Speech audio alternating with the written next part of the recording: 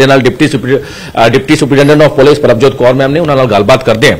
Madam ਇਹ ਪੂਰਾ ਮਾਮਲਾ ਤੁਹਾਡੇ ਸੰਗਿਆਨ 'ਚ ਆਇਆ ਸੀਗਾ। ਉਸ ਤੋਂ ਬਾਅਦ ਇਨਵੈਸਟੀਗੇਸ਼ਨ 'ਚ ਕਿਸ ਤਰ੍ਹਾਂ ਦੀ ਚੀਜ਼ਾਂ ਨਿਕਲੀਆਂ? ਬੇਸਿਕਲੀ ਸਾਡੇ ਕੋਲ ਜਿਹੜੇ ਇੱਥੇ ਵਿਕਟਿਮ ਹੈਗੇ ਕੰਪਲੇਨੈਂਟ ਉਹ ਜਿਨ੍ਹਾਂ ਨੂੰ ਬਾਹਰ ਭੇਜਿਆ ਗਿਆ ਸੀਗਾ, ਉਹ ਜਦ ਵਾਪਸ ਆਏ, ਉਹਨਾਂ ਨੇ ਸਾਨੂੰ ਸਾਰੇ ਹਾਲਾਤ ਦੱਸੇ ਕਿ ਕੀ ਹਾਲਾਤ ਹੋ ਰਹੇ ਨੇ। ਇੱਥੇ ਇੱਕ ਮੁਹੱਲੀ ਵਿੱਚ ਇੱਕ ਟਰੈਵਲ ਏਜੰਟ ਹੈਗੇ ਨੇ, ਉਹਨਾਂ ਨੇ, ਉਹਨਾਂ ਨੂੰ ਇਹ ਵਾਅਦਾ ਦਵਾ ਕੇ ਕਿ ਅਸੀਂ ਤੁਹਾਨੂੰ ਬਾਹਰ ਚੰਗੀ ਨੌਕਰੀ ਦਿਵਾਵਾਂਗੇ। ਉਹਨਾਂ ਨੂੰ ਪਹਿਲਾਂ ਤਾਂ ਵੀਜ਼ਾ ਵਿਜ਼ਟਰ ਵੀਜ਼ਾ ਦਵਾਇਆ, ਉੱਥੇ ਜਾ ਕੇ ਫਿਰ ਉਹਨਾਂ ਨੂੰ, ਉਹਨਾਂ ਨਾਲ ਕਿਸੇ ਦਾ ਸੰਪਰਕ ਕਰਵਾਇਆ। ਜਿੱਥੇ ਲੇਕਿਨ ਉਸ ਬੰਦੇ ਨੇ ਉਹਨਾਂ ਨੂੰ ਸਾਈਬਰ ਸਕੈਮਿੰਗ ਲਈ ਵੀ ਤੁਸੀਂ ਸਾਈਬਰ ਸਕੈਮਿੰਗ ਦੀ ਗਾਂ ਬਾਹਰ ਬੈਠ ਕੇ ਕੰਮ ਕਰੋਗੇ। ਜੋ ਕਿ ਜਦ ਇਹਨਾਂ ਨੇ ਡਿਨਾਈ ਕੀਤਾ ਫਿਰ ਇਸ ਉਸ ਤੇ ਏਵਜ਼ ਵਿੱਚ ਉਹਨਾਂ ਦਾ ਪਾਸਪੋਰਟ ਵੀ ਰੱਖ ਲਿਆ ਗਿਆ ਇੱਕ ਤਾਂ। ਸੋ ਉਹਨਾਂ ਨੂੰ ਕੁਝ ਦਿੱਤਾ ਵੀ ਨਹੀਂ ਗਿਆ ਤਾਂ ਕਿ ਉਹ ਵਾਪਸ ਆ ਜਾਣ। ਸੋ ਫਿਰ ਇਸ ਤੋਂ ਬਾਅਦ ਕੰਪਲੇਨੈਂਟ ਨੇ ਐਮਬੈਸੀ ਉੱਥੇ ਦੀ ਜਿਹੜੀ ਇੰਡੀਅਨ ਐਮਬੈਸੀ ਹੈਗੀ ਹੈ ਕੰਬੋਡੀਆ ਵਿਖੇ ਉੱਥੇ ਉਹਨਾਂ ਨਾਲ ਕੰਟੈਕਟ ਕੀਤਾ ਹੈ। ਫਿਰ ਉਹਨਾਂ ਦੇ ਥਰੂ ਉਹ ਐਮਰਜੈਂਸੀ ਪਾਸਪੋਰਟ ਲੈ ਕੇ ਉਹ ਵਾਪਸ ਆ ਪਾਏ ਨੇ। ਬਿਲਕੁਲ। ਮੈਮ ਜਿੱਦਾਂ ਤੁਸੀਂ ਕਿਹਾ ਕਿ ਬਾਹਰ ਜਾ ਕੇ ਜਾਂ ਕੰਬੋਡੀਆ ਦੀ ਅਸੀਂ ਗੱਲ ਕਰ ਲਈਏ ਜਾਂ ਸਾਊਥ ਈਸਟ ਏਸ਼ੀਆ ਦੀ ਗੱਲ ਕਰ ਲਈਏ, ਉੱਥੇ ਜਿਹੜੀ ਕਾਲਸ ਆਉਂਦੀ ਹੈ ਸਕੈਮਸ ਜਿਹੜੇ ਸਾਹਮਣੇ ਆ ਰਹੇ, ਜਿੱਦਾਂ ਤੁਸੀਂ ਵੀ ਇਨਵੈਸਟੀਗੇਸ਼ਨ ਇਹ ਕਿਸ ਤਰ੍ਹਾਂ ਦਾ ਕੰਮ ਉੱਥੇ ਕਰਾਉਂਦੇ ਆ ਤੇ ਕਈ ਜਿਹੜੇ ਪੰਜਾਬੀ ਦੀ ਤੁਸੀਂ ਗੱਲ ਕਰ ਰਹੇ ਹੁਣ ਇਨਵੈਸਟੀਗੇਸ਼ਨ ਵੀ ਕੀਤੀ ਜਾ ਰਹੀ ਹੈ। ਹੁਣ ਤੱਕ ਦੀ ਇਨਵੈਸਟੀਗੇਸ਼ਨ 'ਚ ਕੀ ਆਇਆ?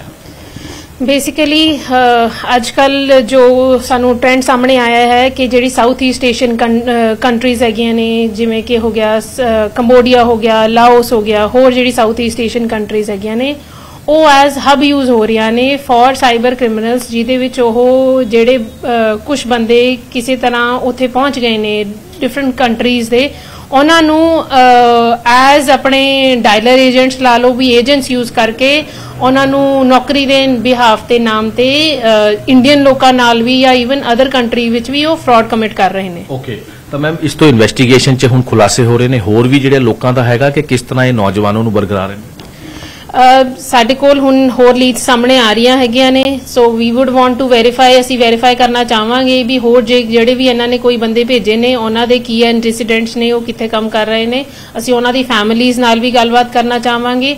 ਜੇਕਰ ਅੱਗੇ ਵੀ ਕੋਈ ਵੀ ਹੋਰ ਕਿਸੇ ਹੋਰ ਦੇ ਸਾਹਮਣੇ ਵੀ ਇਹ ਗੱਲ ਸਾਹਮਣੇ ਆਉਂਦੀ ਹੈ ਵੀ ਊਡ ਵਾਂਟ ਥਰੂ ਤੁਹਾਡੇ ਚੈਨਲ ਦੇ ਥਰੂ ਕਿ ਵੀ ਜਿਹੜੇ ਵੀ ਬੰਦੇ ਹੈਗੇ ਆ, ਉਹ ਸਾਨੂੰ ਫੈਮਿਲੀਜ਼ ਹੈਗੀਆਂ ਨੇ, ਜੇ ਬਾਹਰ ਹੈਗੀਆਂ ਜੇ ਉਹਨਾਂ ਨੂੰ ਲੱਗਦਾ ਹੈ ਕਿ ਉਹ ਉਹਨਾਂ ਨੂੰ ਕਿਤੇ ਬੰਦਕ ਬਣਾ ਲਿਆ ਜਾਂ ਉਹ ਨਹੀਂ ਆ ਪਾ ਰਹੇ ਤਾਂ ਸਾਡੇ ਨਾਲ ਕੰਟੈਕਟ ਕਰਨ। ਅਸੀਂ ਥਰੂ ਸਾਡੀ ਮਿਨਿਸਟਰੀ ਆਫ ਐਕਸਟਰਨਲ ਅਫੇਅਰਸ ਨਾਲ ਇਹ ਤੁਹਾਡਾ ਸਾਰਾ ਕੰਮ ਫੈਸਿਲਿਟੇਟ ਕਰਾਉਣ ਦੀ ਪੂਰੀ ਤੁਹਾਡੀ ਮਦਦ ਕਰਾਂਗੇ ਅਸੀਂ। ਮੈਮ ਕਿਨ ਕਿਨ ਚੀਜ਼ਾਂ ਦਾ ਧਿਆਨ ਰੱਖਣਾ ਬਹੁਤ ਜ਼ਰੂਰੀ ਹੈ ਕਿਉਂਕਿ ਅੱਜ ਦੇ ਟਾਈਮ 'ਚ ਸਾਰੇ ਨੌਜਵਾਨ ਹੋਵੇ ਜਾਂ ਫਿਰ ਬਾਹਰ ਜਾਣ ਦੇ ਇੱਛੁਕ ਹੁੰਦੇ ਆ ਚਾਹੇ ਉਹ ਸਟੱਡੀ ਵੀਜ਼ਾ ਦੀ ਅਸੀਂ ਗੱਲ ਕਰ ਲਈਏ। ਕਿਹੜੀ ਕਿਹੜੀ ਚੀਜ਼ਾਂ ਦਾ ਧਿਆਨ ਰੱਖਣਾ ਜ਼ਰੂਰੀ ਹੈ? ਕਿਸ ਤਰ੍ਹਾਂ ਦੀ ਚੀਜ਼ਾਂ ਨੂੰ ਲੈ ਕੇ ਵੈਰੀਫਾਈ ਕਰਨਾ ਬਹੁਤ ਜ਼ਰੂਰੀ ਹੈ? ਸਭ ਤੋਂ ਪਹਿਲਾਂ ਤਾਂ ਇੱਕ ਜਦ ਵੀ ਆਪਾਂ ਜਿਸ ਪਰਪਸ ਲਈ ਵੀਜ਼ਾ ਲਈਏ ਸਾਨੂੰ ਤੁਹਾਨੂੰ ਉਸੇ ਪਰਪਸ ਲਈ ਵੀਜ਼ਾ ਮਿਲ ਰਿਹਾ ਹੈ ਤੇ ਤੁਹਾਨੂੰ ਤੁਸੀਂ ਉਸੇ ਉਹੀ ਐਕਟੀਵਿਟੀ ਉਸ ਕੰਟਰੀ ਵਿੱਚ ਜਾ ਕੇ ਕਰ ਸਕਦੇ ਹੋ। ਜੇਕਰ ਕੋ ਤੁਹਾਨੂੰ ਕੋਈ ਕਹਿੰਦਾ ਹੈ ਕਿ ਵੀ ਨਹੀਂ ਜੀ ਤੁਸੀਂ ਇੱਥੋਂ ਵਿਜ਼ਿਟਰ ਵੀਜ਼ਾ ਲੈ ਲਿਓ ਉੱਥੇ ਜਾ ਕੇ ਤੁਹਾਡਾ ਵਰਕ ਵੀਜ਼ਾ ਕਨਵਰਟ ਹੋ ਜਾਏਗਾ ਉਹ ਆਪਣੇ ਆਪ 'ਚ ਤੁਹਾਡੇ ਮਨ 'ਚ ਸ਼ੱਕ ਪੈਦਾ ਕਰਨਾ ਚਾਹੀਦਾ ਹੈਗਾ ਕਿ ਵੀ ਕਿਉਂ ਨਾ ਤੁਸੀਂ ਇੱਥੋਂ ਹੀ ਵਰਕ ਵੀਜ਼ਾ ਲੈ ਕੇ ਜਾਓ। ਆਥੋਰਾਈਜ਼ਡ ਏਜੰਟ ਜਿਹੜੇ ਕਿ ਵਰਕ ਵੀਜ਼ਾ ਦੇ ਸਕਦੇ ਨੇ, ਜੋ ਕਿ ਜਿਹੜੇ ਵੀ ਬੰਦੇ ਵਰਕ ਵੀਜ਼ਾ ਦੇ ਸਕਦੇ ਨੇ, ਉਹ ਮਿਨਿਸਟਰੀ ਆਫ ਐਕਸਟਰਨਲ ਅਫੇਅਰਸ ਨੇ ਅੱਗੇ ਪ੍ਰੋਟੈਕਟਰ ਆਫ ਇਮੀਗ੍ਰੈਂਟਸ ਹੈਗਾ। ਉਹਨਾਂ ਨੂੰ ਲਾਇਸੈਂਸਿੰਗ ਦੀ ਪਾਵਰ ਦਿੱਤੀ ਹੋਈ ਹੈ।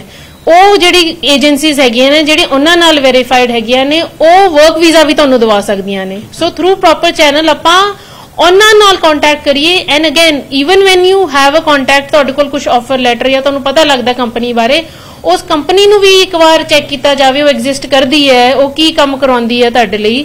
ਇਸ ਤੋਂ ਇਲਾਵਾ ਜਿਵੇਂ ਹੁਣ ਅਸੀਂ ਸਾਊਥ ਈਸਟ ਏਸ਼ੀਆ ਬਾਰੇ ਗੱਲ ਕਰ ਰਹੇ ਹਾਂ, ਉਥੇ ਸਪੈਸ਼ਲੀ ਤੁਹਾਨੂੰ ਇਹ ਪੁੱਛਿਆ ਜਾਊਗਾ ਵੀ ਤੁਹਾਨੂੰ ਡਾਟਾ ਐਂਟਰੀ ਆਪਰੇਟਰ ਵਗੈਰਾ ਤੁਹਾਨੂੰ ਜੌਬ ਦਿੱਤੀ ਜਾਊਗੀ। ਇਹ ਵਨ ਆਫ ਦੋਸ ਜੌਬਸ ਹੈ ਜਿਹੜੇ ਕਿ ਉਥੇ ਜਾ ਕੇ ਸਾਈਬਰ ਸਕੈਮਿੰਗ ਲਈ ਯੂਜ਼ ਕੀਤੀ ਜਾ ਰਹੀ ਹੈਗੀ, ਉਹ ਉਹ ਤੁਹਾਨੂੰ ਫਿਰ ਗਲਤ ਕੰਮ ਲਈ ਆਪਾਂ ਯੂਜ਼ ਕਰਾਂਗੇ। ਸੋ ਇਨ ਐਨੀ ਕੇਸ ਜੇ ਕੋਈ ਬੰਦਾ ਇੱਥੋਂ ਚਲੇ ਵੀ ਜਾਂਦਾ ਹੈ so you can always come back ਤੁਸੀਂ ਆਪਣੀ ਐਮਬੈਸੀ ਨੂੰ ਕੰਟੈਕਟ ਕਰੋ ਤੇ ਹਮੇਸ਼ਾ ਗਲਤ ਕੰਮ ਆਪਾਂ ਨਾ ਕਿਸੇ ਹੋਰ ਕੰਟਰੀ ਵਿੱਚ ਜਾ ਕੇ ਕਰੀਏ, ਨਾ ਆਪਣੀ ਕੰਟਰੀ ਵਿੱਚ ਕਰੀਏ। That is should be the purpose, ਬਾਹਰ ਜਾ ਕੇ ਹਰ ਇੱਕ ਨੂੰ ਇੰਪਲੋਇਮੈਂਟ ਜ਼ਰੂਰ ਆਪਾਂ ਲਈਏ, ਪਰ through proper channel legal process ਜਾ ਕੇ ਰਹੀਏ ਤਾਂ ਕਿ ਤੁਸੀਂ ਕੱਲ ਨੂੰ ਲੀਗਲੀ ਐਗਜ਼ਿਸਟ ਕਰ ਸਕੋ। ਤੁਹਾਡੀ ਫੈਮਿਲੀ ਤੁਹਾਡੀ ਆਪਣੇ ਮਨ ਦੀ ਸ਼ਾਂਤੀ ਹੋਵੇ and you should be doing the right thing ਕਿਉਂਕਿ ਮੈਮ ਪੰਜਾਬ ਸਰਕਾਰ ਲਗਾਤਾਰ ਇਨੀਸ਼ੀਏਟਿਵ ਲੈ ਰਹੀ ਹੈ, ਲਗਾਤਾਰ ਪੰਜਾਬ ਪੁਲਿਸ ਵੀ ਇਹ ਕਹਿ ਰਹੀ ਹੈ ਕਿ ਜਿਹੜੇ ਵੀ ਬਾਹਰ ਜਾਂਦੇ ਉਹਨਾਂ ਨਾਲ ਠੱਗੀ ਹੁੰਦੀ ਹੈ, ਸਾਈਬਰ ਫਰਾਡ ਹੁੰਦਾ ਉਹਨੂੰ ਲੈ ਕੇ ਲਗਾਤਾਰ ਐਕਸ਼ਨ ਜਿਹੜਾ ਹੈਗਾ ਦਿੱਤਾ ਜਾ ਰਿਹਾ ਹੈ। ਤਾਂ ਕੁਝ ਹੋਰ ਵੀ ਜਿਹੜੀ ਚੀਜ਼ਾਂ ਨੂੰ ਲੈ ਕੇ ਇਨਵੈਸਟੀਗੇਸ਼ਨ ਜਿਹੜੀ ਹੈ ਜਾਰੀ ਹੈ?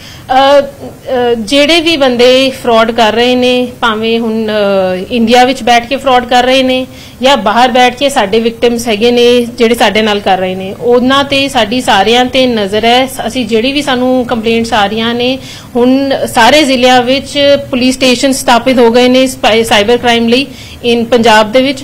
ਸੋ ਸਾਰਿਆਂ ਦੀ ਸਾਡੀ ਇਹੀ ਬਿਕੋਜ਼ ਇਹ ਕ੍ਰਾਈਮ ਇਨਕਰੀਜ਼ ਹੋ ਰਿਹਾ ਹੈਗਾ, ਸੋ ਸਾਡਾ ਇਹੀ ਮਨਸ਼ਾ ਹੈਗੀ ਹੈ ਕਿ ਅਸੀਂ ਇਹਨੂੰ ਵੱਧ ਤੋਂ ਵੱਧ ਅਸੀਂ ਜਿਹੜਾ ਵੀ ਕ੍ਰਿਮੀਨਲਸ ਹੈਗੇ ਆ ਉਹਨਾਂ ਦੇ ਖਿਲਾਫ ਐਕਸ਼ਨ ਲੈਣਾ ਹੈ ਤੇ ਤਾਂ ਕਿ ਵੀ ਸਾਨੂੰ ਬਟ ਅਗੇਨ ਇਹਦੇ ਵਿੱਚ ਜਿਹੜਾ ਵਿਕਟਿਮਸ ਹੈਗੇ ਆ ਉਹਨਾਂ ਦੀ ਅਵੇਅਰਨੈਸ ਬਹੁਤ ਜ਼ਰੂਰੀ ਹੈ ਤੇ ਤੁਹਾਡੇ ਮਾਧਿਅਮ ਰਾਹੀਂ ਅਸੀਂ ਚਾਹਾਂਗੇ ਕਿ ਵੀ ਲੋਕ ਅਵੇਅਰ ਹੋਣ ਕਿ ਵੀ ਅਸੀਂ ਕੋਈ ਸਾਨੂੰ ਕਿਸੇ ਤਰ੍ਹਾਂ ਦਾ ਵੀ ਲਾਲਚ ਦਿੰਦਾ ਹੈਗਾ ਉਹਨੂੰ ਵੈਰੀਫਾਈ ਕਰ ਲਈਏ ਕੋਈ ਵੀ ਆਪਾਂ ਨੂੰ ਫ੍ਰੀ ਚ ਮਨੀ ਫ੍ਰੀ ਚ ਪੈਸਾ ਕੋਈ ਨਹੀਂ ਦਿੰਦਾ। ਕੋਈ ਡਬਲ ਕਰਕੇ ਨਹੀਂ ਦਿੰਦਾ ਕੋਈ 4 ਟਾਈਮਸ ਨਹੀਂ ਦਿੰਦਾ।